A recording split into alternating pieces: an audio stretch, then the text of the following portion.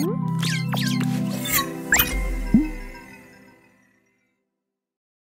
Zul Trader, selamat datang dan selamat menyaksikan Daily Outlook untuk hari Kamis tanggal 27 Januari 2022.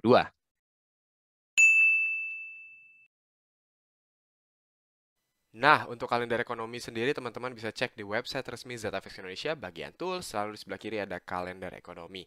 Dan kita melihat bahwa FOMC yang tadi subuh dilaksanakan, Fed tidak merubah suku bunga Amerika Serikat dari 0,25% sebelumnya tetap pada 0,25%. Begitu juga kita mundur sedikit ke Bank of Canada tidak merubah suku bunganya tetap pada 0,25%. Dan kita melihat pada London Session nanti akan ada beberapa trade balance yang akan disajikan di antaranya ada CHF, kemudian HKD, kemudian ada PPI dari ZAR, serta nanti uh, di New York Session akan ada beberapa news yang cukup signifikan di antaranya GDP dari Amerika Serikat, Core Durable Good Order, serta Pending Home Sales yang akan mempengaruhi nilai USD.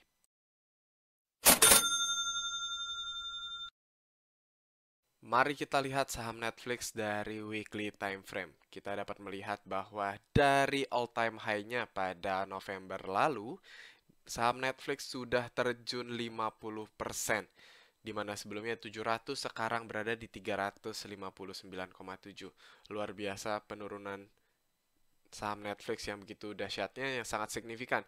Dan dia sudah melewati beberapa support dan key level yang uh, cukup kuat di antaranya di sekitar 570 dan juga di 480 dan saat ini kita dapat masih dapat menggambar uptrend line yang terbentuk sejak Desember 2018 dan kita akan lihat apakah Netflix mampu memantul dari uptrend line tersebut. Dari weekly time frame sendiri pun terlihat sangat menyedihkan di mana Netflix terjadi gap hingga 20% antara tanggal 20 Januari hingga market open di 21 Januari lalu. Dan kita akan melihat uh, nampaknya belum ada tanda-tanda koreksi ataupun kenaikan sedikit untuk retest ke area 480 dan secara 4 hour time frame juga nampaknya uh, saham Netflix sudah membentuk resistance di sekitar 388 untuk kembali turun menuju setidaknya ke 330.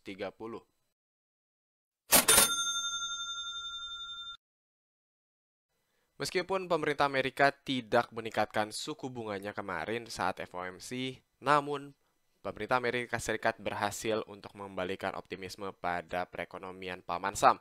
Dan kita melihat bahwa XAU USD turun yang menandakan USD yang relatif menguat terhadap emas. Di mana kemarin secara bersih gold turun sekitar 1,54% atau sekitar 284 pips.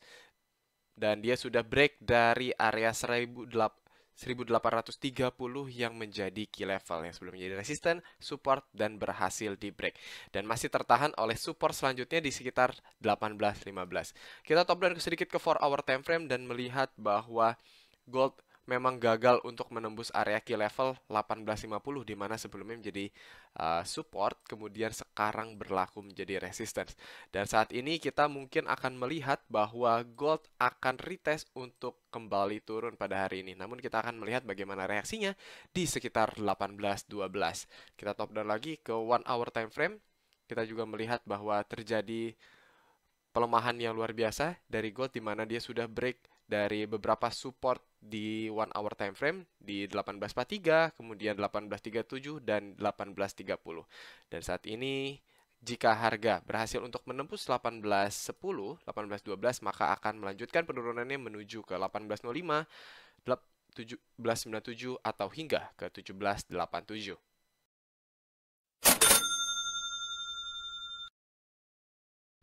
Dan yang terakhir mari kita lihat ETH USD atau Ethereum yang secara daily time frame kemarin ditutup dengan bullish lemah dan saat, nampaknya saat ini berada dalam ranging area dan secara 4 hour time frame kita dapat melihat bahwa memang tidak perlu diragukan lagi bahwa Ethereum berada dalam bearish trend.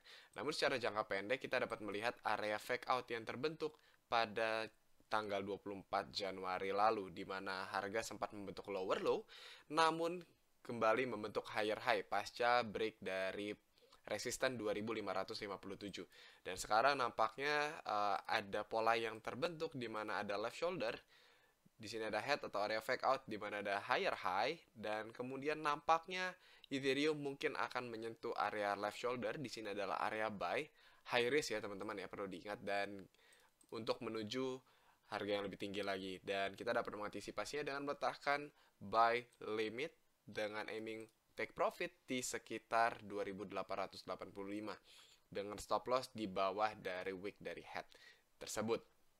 Ini adalah high risk setup dari Quasimodo level. Teman-teman perlu perhatikan dan maksimum 1% risk ya jika ingin mengeksekusinya. Namun jika teman-teman ingin forward test atau paper trade, tidak ada salahnya juga.